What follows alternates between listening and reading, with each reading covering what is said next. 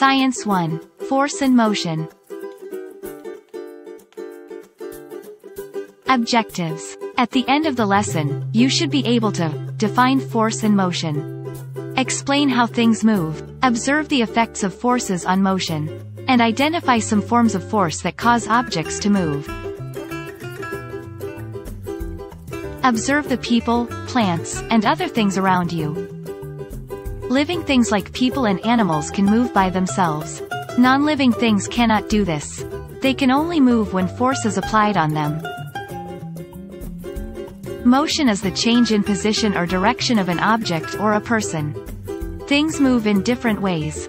Some things move up and down, back and forth, or in a circular motion. Force is the push and pull that makes an object move, stop moving, or change direction. Pushing and pulling is a kind of force that people and animals use to make things move. When you push or pull an object, you exert some energy to make it move. Pushing is to move an object away from you. For example, when you push a table or a chair, you make it move away from you. Pulling is to move an object toward you. For example, when you pull a string of a toy car or a drawer, you make it move toward you. You have to use a certain amount of force to make objects move. It takes more force to move big and heavy objects. It takes less force to move and lift light objects. Now, let's talk about the other kinds of force that make things move and work. Running water enables a boat to move on water. It makes water wheels turn. A water wheel is a wheel that creates power when moving due to the force of water falling on it. Running water also moves paper boats, dried leaves, logs, small rocks in the river, and other objects from one place to another.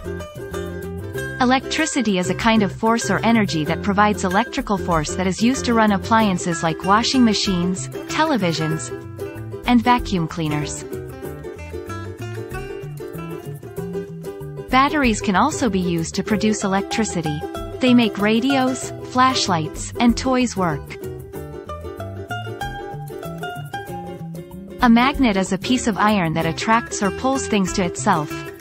Its force is called magnetic force. It pulls or attracts objects made of iron, steel, nickel, and cobalt. Examples of these are nails, pins, and paper clips. However, not all metals are attracted to magnets. Examples of these such materials are aluminum pans, gold earrings, and silver bracelets.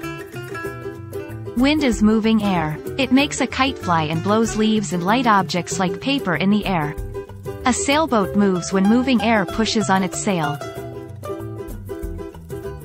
Gravitational force or gravity pulls objects toward the ground. Objects thrown upward always fall to the ground because of gravity. Fruits and leaves from trees also fall to the ground because of gravity. Gravity keeps many objects in place on Earth. Practice exercise. Now, let's have an activity. Tell the correct answer for each number.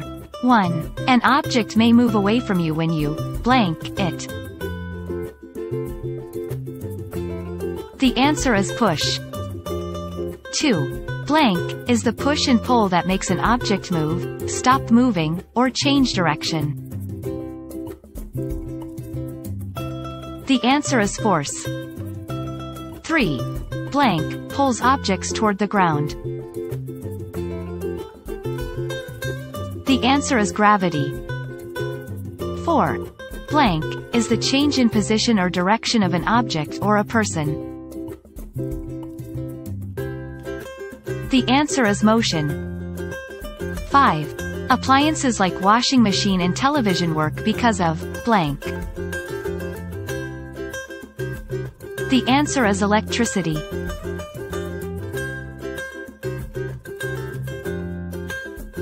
Great job, kids! Don't forget to study your lesson. Goodbye.